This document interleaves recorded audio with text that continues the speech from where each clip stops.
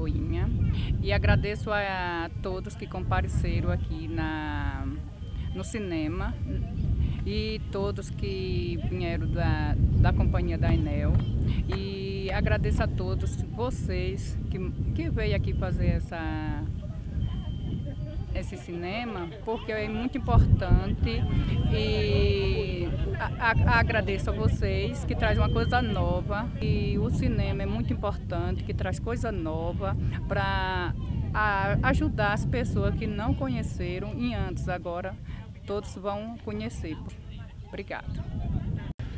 Eu achei interessante a reunião, sabe? A reunião, porque eu fiquei encantado com a receita para viver, o pessoal viver mais. Eu estou muito feliz com todos os vizinhos, que é uma história para nós, do Cinto lá com as crianças, os adultos. E quem querer chegar perto, chegue, que é uma coisa espetacular. Espetacular. É, meu nome é Gilberto Alves Pinheiro. Eu moro aqui, sou o presidente da Associação Comunitária daqui de Povoado de Lagoinha. E aqui eu vivo aqui em harmonia com a minha família, os amigos, cuidando aqui das minhas roças, o gadinho que a gente tem. Enfim, gosto daqui. Vim para aqui, eu era, era jovem ainda. Andei trabalhando fora um pouco, um certo tempo, mas aposentei e voltei para aqui de novo. É, a gente se preocupa muito com a saúde hoje, principalmente eu que estou na idade de, já chegando meu tempinho aí, né? E meus irmãos, eles pegam muito no meu pé nessa questão da alimentação. Aí eu gosto muito do açúcar, né? eu gosto muito da carne frita. E eles pegam no meu pé que eu tenho que comer é, é a, carne, a comida natural, é a verdura, é a fruta. Ela disse, vocês têm que se alimentar bem, vocês não podem comer isso. Vocês...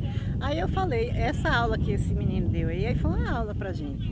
Pra gente, eu mesmo que já estudei, que na ciência sou uma porcaria, mas aprendi um pouquinho de alguma coisa e ele deu uma super aula, né? E se a gente pegar um pouquinho do que ele ensinou agora à tarde, eu mesmo vou procurar tirar o açúcar da minha vida, né? Vou fazer o possível. E eu creio que eu vou conseguir, né? Porque se a gente tiver força de vontade, se a gente tiver domínio próprio, se a gente tirar as nossas vontades, porque a nossa mente ela nos, nos leva muito para coisas que nos prejudicam. Né? Então a gente tem que primeiro educar a nossa mente. Eu preciso fazer isso.